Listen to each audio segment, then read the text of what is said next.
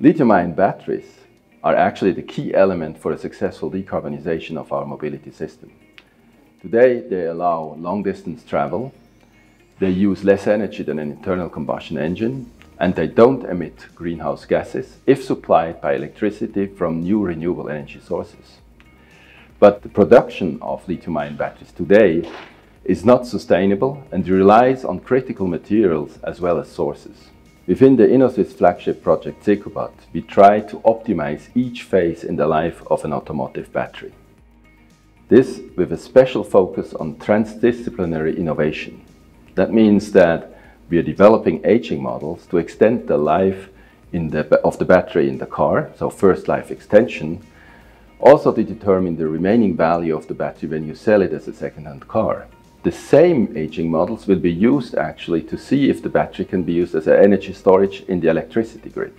When we're looking at innovations in demanufacturing, meaning the disassembly of the battery at the end of life before recycling, we will take these knowledge and introduce it at the production of the battery so that the battery is actually made to be demanufactured and also to be repaired. Batteries from electric mobility, they contain a lot of valuable material such as lithium, cobalt, graphite or nickel, but also other materials in high volumes, for example, aluminium or copper or electronics, which we want to keep in a circular economy. And the separation is a very important part to do before we go into the actual um, direct recycling process. We have mainly um, uh, two reasons why we want to disassemble the, the batteries with robot. First, it's labor intense and time consuming and second it's dangerous for the people so we develop therefore what we call a digital twin or an avatar in a photorealistic environment in which we can then train the robot to do the task before we actually train it on the real robot. Here at Kyburz we are taking out the cell apart.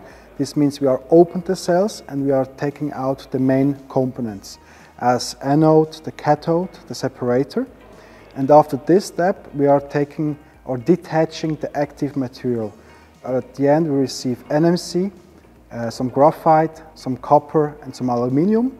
And then we provide this slurry to EMPA, and they will make some regeneration, purification, and analysis of the active material. The different thermal and chemical experimental steps involved in our direct recycling process are designed to first remove the unwanted impurities and second to um, regenerate the material without decomposing them into the individual elements. So the idea of this direct recycling process is that all of these steps should be simple and should involve minimal energy consumption and use of chemicals. Uh, what we see is that the topic of a circular economy model for lithium-ion batteries is extremely important in the future. And what CircuBAT does is to bring this into a Swiss perspective. Our approach is actually to adapt the circular model to the Swiss market and its unique uh, requirements, but also taking into account naturally what's happened on the international area.